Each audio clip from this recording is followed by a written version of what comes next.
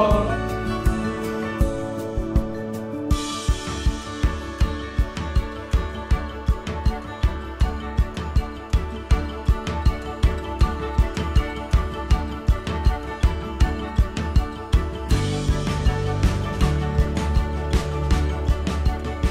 pray that uh, pregnancy will go well